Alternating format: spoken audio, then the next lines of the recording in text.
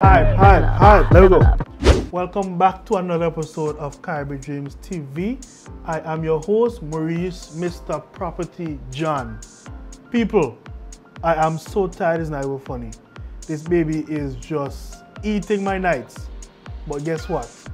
You have to give the people what they want.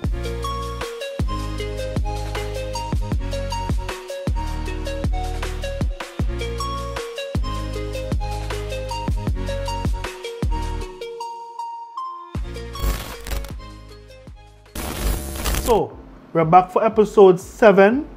My gosh, time sure flies. We only have three more episodes to go. And this episode have just been awesome, I must say. Not to toot my own horn, but they're really good. I, I really like them. And people are meeting me and they're saying, yo, what you're doing, keep doing. The last time we were inside, we talked about what is the real cost of buying property in St. Vincent. And I believe that video helped so much people. They did not know the different fees that are attached to buying property. So people come on and say, okay, I want to buy a piece of land, $60,000, and they will go and they will find a piece of land at $60,000, not realizing that there were costs attached to it that will take the property beyond that $60,000 mark. The review that I've, I've gotten from, from people watching that video, why did you not do a breakdown of buying a house in St. Vincent. So I say, okay, I'm going to use this episode to do accomplish a few things. Not only am I going to break down buying a house in St. Vincent, another thing that somebody said, we need a wrong figure. Don't use 90 something, something, something, something, something. Give me a round figure so we could easily understand the cost breakdown. So I said, all right, cool. So this episode we're using a round figure. In St. Vincent, most people, when they message you, they say, I'm looking for a house, they say, I want a house between 200,000 to 250. So what I'm going to be doing, I'm going to be using 250 as our breakdown value.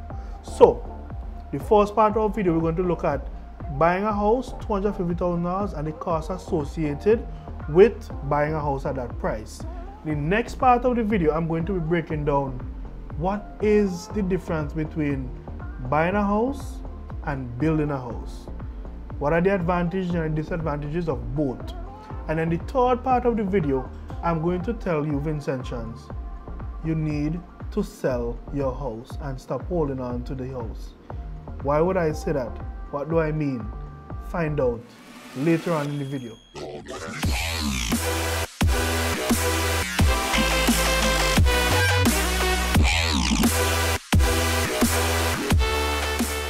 All right, so let's jump into the first part buying a house for $250,000. All right, so let's start with the breakdown. So we already agree we're using $250,000. Now, for valuations, valuations are on a scale. Now, every valuator might is not a fixed scale like how legal work has guidelines as to how you price the legal work. Valuations is a bit a bit of a gray area. There is a sometimes a standard that people go with and then people choose their own scale. So I know when my father used to do valuations, a house for 250 he would have charged around 550. Um, as you go up in value, the price changes. So it could go up to all $1,200 for a property over a million dollars.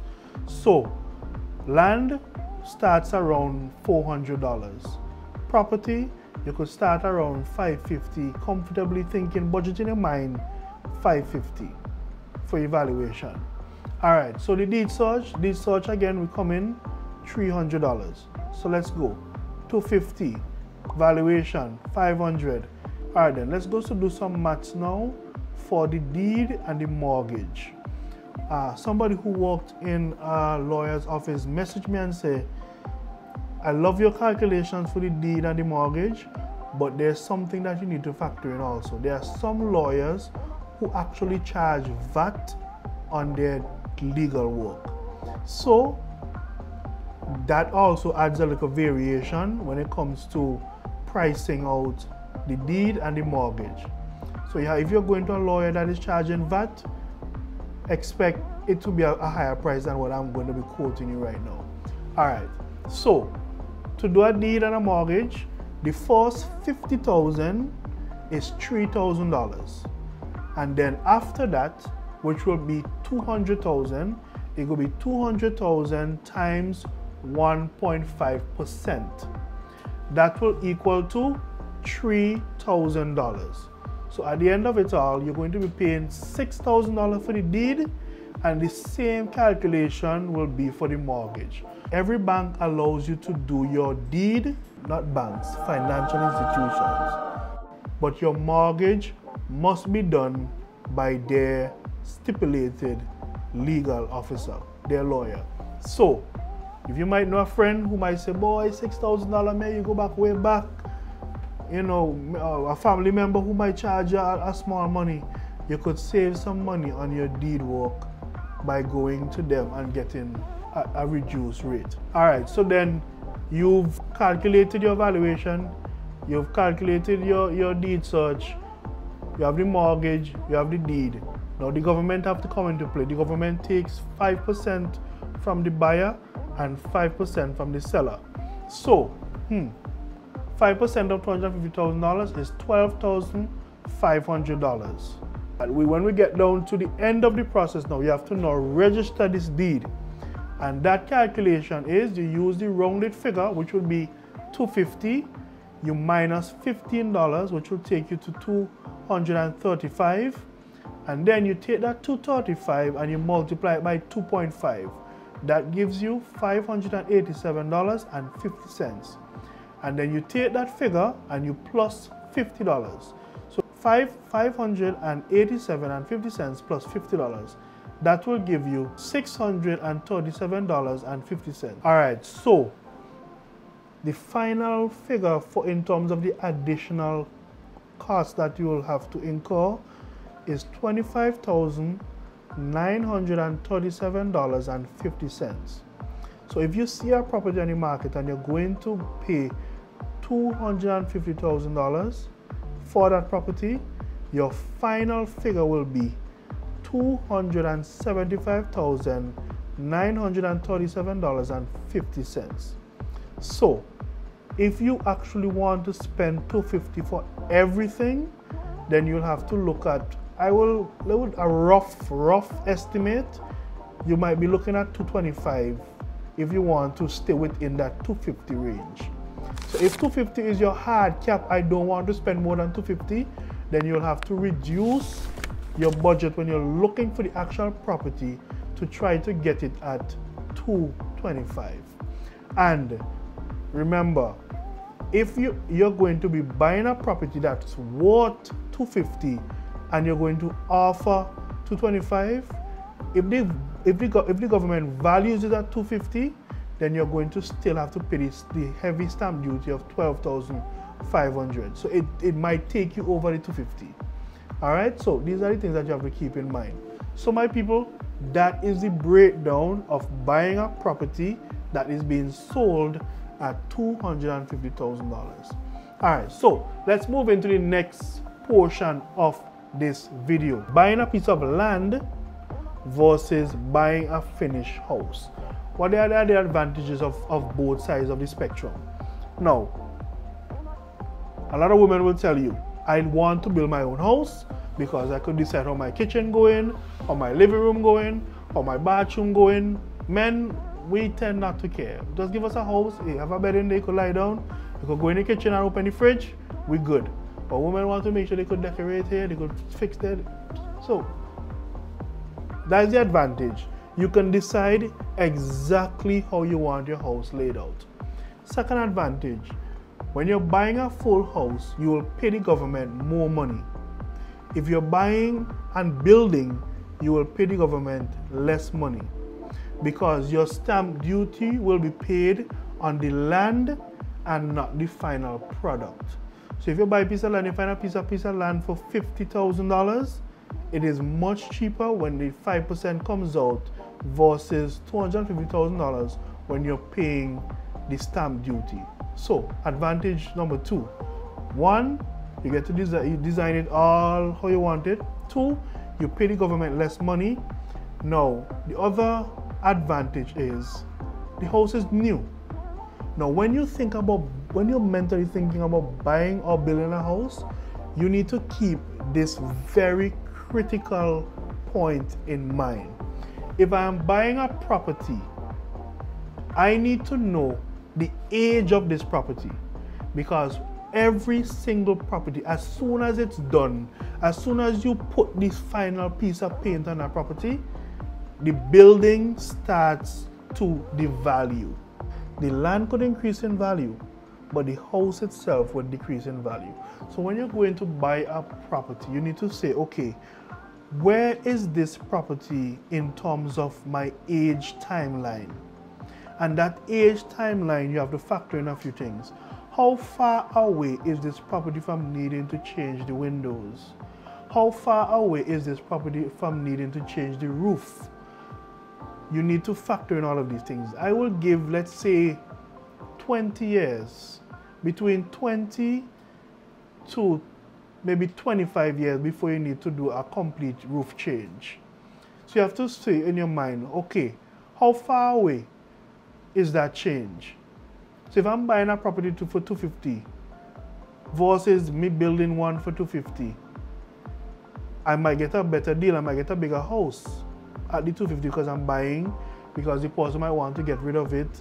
Um, the market might be bad, so it's a buyer's market, so I could get it for cheap. But then you have to know, be, do some projections.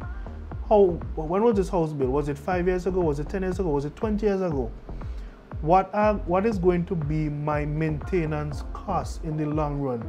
Do I have to run back to the bank and borrow another $50,000 in, in a short space of time to redo the windows, to do the, the roof, to patch up here, patch up there? All of these things must be factored in when you're looking at buying a house versus building a house. All right, so what are the advantages of, of buying now? So we so building, it's new, you don't have to think about maintenance for a very long time. You could decide exactly what you want to do with the house in terms of the rooms. And the government stamp duty is very much reduced because you're paying tax, the government stamp duty on the land and not the entire finished house. All right, so looking at buying a finished house, what could be the possible advantages? If you get a property that is not very old, so you don't project any sort of maintenance on that property for a while, or you're buying a property that is a fixer-upper and you're getting an amazing deal on that property, go for it. Buying a property that is not very old, fixer-upper, great deal, great location. For example, let's say you want to build an apartment and there's an old house on the side of the road broken down, you could get a good deal on that property and you could start to get some rent income. That's a, that's a no-brainer. All right. So what are the other advantages of buying a finished property? The time. Building a home. One of the disadvantages of building a home is unfortunately in St. Vincent, a lot of people get problems with contractors they borrow a set of money, the contractor tell them, yes, this could build this house. And then somewhere along the line, problems arise. The 250 that you borrowed done and the house is nowhere to be seen. That is one of the main deterrents of people wanting to build and rather go and buy a property. Unfortunately. So when you're looking at okay, the stress of having to literally be hawking over my contractor to make sure that he's not taking my materials and build another house for himself or he or he or she women could be contractors too or they're not taking the money and trying to finish a house that they promised another client and they're using your monies to finish that other house so there's a there's a scare factor when it comes to building a property. As much as you love the newness, as much as you love the total control over your design, that a lot of people in St. Vincent have put up into that problem of seeing their money wasted and they're not getting the property that they were supposed to get. So that's one of the main advantages of buying a home. You move into that home, you don't have to face those challenges. You move in quick, fast, you don't have to wait six to eight months, you don't have to deal with the weather, you don't have to deal with all of those problems. So, but the disadvantage is you have to now make sure that you see, project. Is this house going to need X number of dollars? I have to go back to the bank and borrow more money again. And I have to go through the same contractor dealing with the contractor to change the roof, change the windows, fix the, the foundation. So you have to balance it, balance it, and know exactly what you're doing, the advantages of and disadvantages of each side of the spectrum. All right, folks. So if you are me, what I do, I love my spreadsheet, I love my data. I see a property I might like, I look at the, the numbers, I look at the raw numbers, I say, okay, this is what I want to do with it, this is what it's going to cost me, where is it on the timeline? I do all of my data analysis to make a good decision. And you could call me and I could help you to decide if that is a good investment. No, there are a lot of Vincentians who went to the bank, they borrowed some money, they built a house in an area that was not fully developed. 20 years passed, the area booming. Imagine you building a property in Queens Drive before it was Queens Drive, before the place turned hot. The land was cheap. 20 years ago, house your neighbor help you build a house, you build a house cheap. You have a small loan on it still. People of St. Vincent and the Grenadines. It is okay to sell your house and move on. A lot of Vincentians hold on to homes when you do not need to. If you in 2020 live in an area, I have a house, I have a, I have, I drive to Villa.